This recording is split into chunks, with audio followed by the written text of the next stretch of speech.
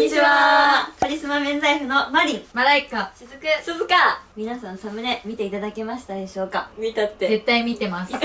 サムネとタイトルあった通り YouTube の投稿期間を少しお休みさせていただくことになりました。はい。はい。悲しいです。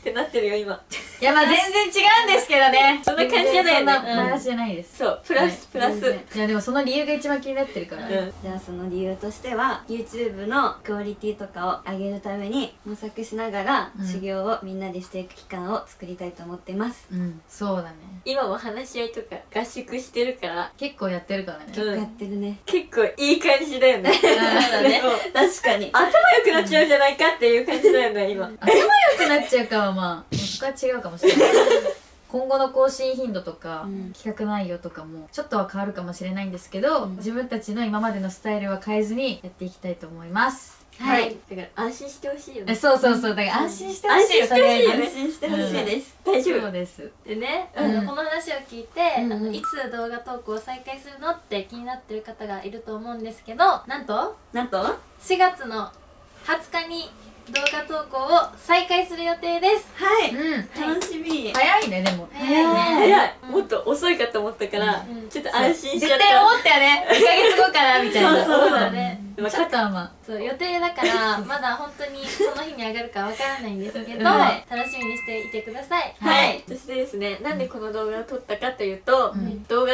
をお休みするということを見てくださってる皆様にお伝えしたかったのでこの動画を撮りました。うん。はい。まあ、緊急で撮ってるからアンナとめいちゃんがね。そうめいちゃんが来れなかったんだけど、うん。この4人でも伝えたくてすぐに動画を回しました。はい、はい。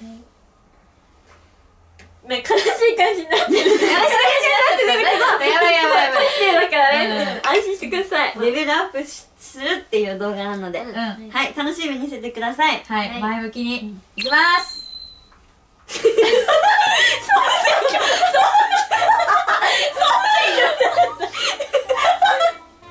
こんな感じです。はい。はい。なので変わらず応援よろしくお願いします。お願いします。バイバーイ。バイバイ